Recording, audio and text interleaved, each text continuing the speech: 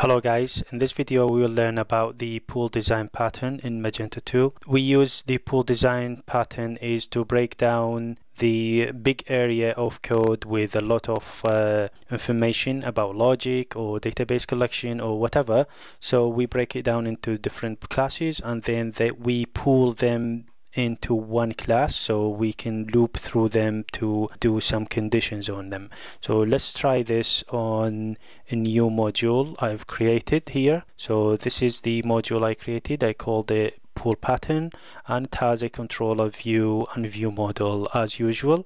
Now the functionality of this is I put a code. So this is the controller pool index index and the code is parameter and the value is Alaa or whatever you call it. So ABC123 and now I display the code here. So looking at the code we are doing it from the pool PHTML file and then I just get model get code and I pass in the request. So the request will have the parameter. Sorry this is the view model. I pass the request and then I get param from the request and then I return the code and it will be displayed in the template and as you can see here is in here. So basically it's just a code uh, of key value pair as in the uh, URL parameters. Now if I put anything here like 1, 2, 3, 4 it will display it to me.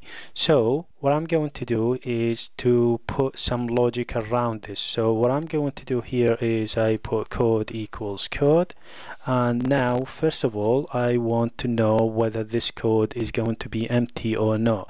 So I will check if string code equals empty string then in fact I will just string it here so I'm not getting getting any null. And now I'll do it here.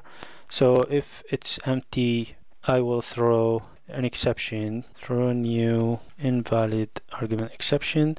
And I will say the message will say code cannot be empty. So it's that simple. Now I want also to check the length of the code. So if strlen code greater than 10 so the maximum will be 10 if it is greater than 10 then throw new invalid argument exception code must not be more than 10 characters. Now we have done this. Now I will check if the code has any special characters then I will throw an error. So I will say if uh, C type alnum code. So if it is not alphanumeric then throw an error. So I'll just copy this copy paste here and then I say code must contain must only contain alphanumeric characters. So these are the base logics of these. Now after that I will return the code. If the conditions all these conditions pass then I will return the code. If I run here, so this pass is alphanumeric. If I put ABC 123, it will pass because it's alphanumeric. If I put nothing here, I will get an error code cannot be empty. If I put something like ABC-123, I will get code must only contain alphanumeric characters. If I put something like ABC 1, 2, 3, 4, 5, 6, 7, 8, 9. This will be more than 10 characters and then code must not be more than 10 characters. So these are the basic logics of these, but you can see this is like a lot of if statements in here and then you want to abstract them away and then make the code a lot uh, cleaner. So we can achieve this by using the pool design pattern. The pool design pattern is we will abstract each if statement into its own validation class and then it will be easier for us in terms of testing or in terms of managing the code. So let's try this and see how we can make this a lot cleaner. First of all, I will create a model directory, so model, and then I will create an interface. I'll name it code validation interface. And this basically namespace training so this basically just validate the code so public function validate string code and will return void. It doesn't return anything. So basically this is the class will validate the code. Oh this is the interface.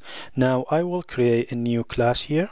I will make it code not empty validation. And this code non um, not empty validation will validate against the code being empty or not. Namespace training pool pattern and then model class code non-empty implements code validation interface and this will have the method validate. And now to validate this I will go to the view model the example and I put I copy this and I put it in the class here. So this is the class. Now I'll make everything easier and understandable bit by bit. Now we have this. If the code is empty then throw the validation. That's it. That's all I need. Now I will have another class. We will name it as code length validation. Code length validation implements code validation interface. And this time this class will take the validate from code is not greater than z than 10 so we copy it and then we paste it here. So we abstracted this if statement. Now we will need the last class for validation which is the alphanumeric. So alpha code alnum validation. Same thing this will also validate pattern model. Class code implements code validation interface and this time we will go to the last if statement copy it and paste it in here. So we're putting the now you can see every statement every if statement will go to its own class. Now I don't need these anymore. I remove them. Now what I need is the apply the pool design pattern. So what I'm going to do is I will create a class. It's called code validation code pool validation or code validation pool. This will declare type namespace training pool pattern model class code validation pool. This has nothing to implement. And now I will need a construct. In the construct I will have array of validations. And I will have this and now these will be code validation interface. Now if I put here so this will gives us the notation for the autocomplete. Now this class will also have the method validate and accepts the string code and will return void as well. So in this we will loop through those validations in a for loop for each validations as validation and the IDE will know the validation is of type code validation. So what we're going to do is validation validate code. Now we need to apply this through the DI XML file. What I'm going to do is I'll go here and create DI file XML file and then m2di I will have the type. The type is the pool class. I will just copy it and paste it in here and then I'll have arguments in the arguments I have validations as an array because we have it as an array and then we will have the items. The first item I will need it as code not empty validation and will be object and I'll copy the code not empty validation here and then I'll paste it in here we will do the same for the other two. So the code length validation code length validation and we will go to the code length validation copy it and paste it in here. The last class the last validation class is the code alnum validation and this will be this class.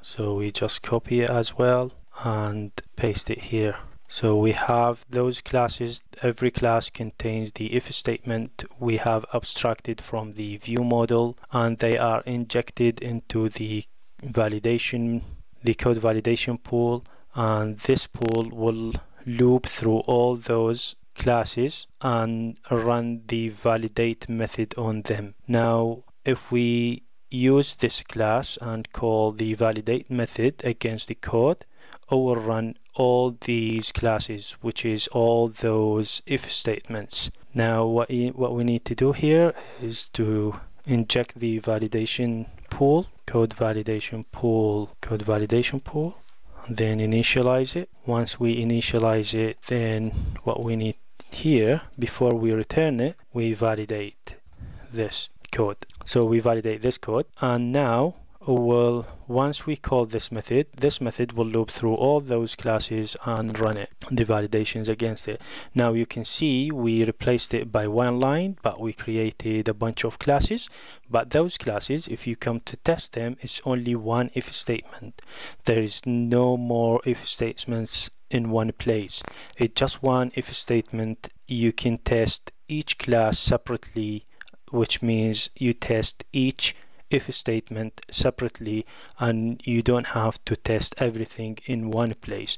So this is one of the benefits that how the pool design pattern is used and how to simplify your code. Now if we flush cache php bin magento cache flush config because we use the di the di configuration file and then block HTML and I think a full page as well I want to flush. Now if we refresh so we are having an error saying training pool pattern should be pool. So if I if I go to the model then it's pool here. Which one is it? The code length should be pool. Sorry about that. And it's also maybe in here as well yeah. Now I need to flush config because we made changes. Now we refresh now it's running the validation against this code. So code must not be more than 10 characters. However if I go abc123 it will give me the code as you can see here. But if I put like a dash in there you will get the code must not must contain alphanumeric characters only. If I make it more than 123 123 so it's more than 10 characters. And then if it is empty it will give me code not, cannot be empty. And if I go back to one ABC 123 it will return it as is. So you can see how we done this. We have a three if statements used to be here in the get code to validate the code and then we abstract them into separate classes as validations. We created the validation uh, code validation interface and those classes inherit from and then each class will validate with one if statement and then the pool class will run through them by iterating in the for each loop and run the validate for each class. And this pool is being used in the view model and view model will validate against all all cases all conditions. Once it's passed it will return the code. If it doesn't then it will fail at this line. I hope this is useful. If you like the video please like and subscribe and i'll see you in next video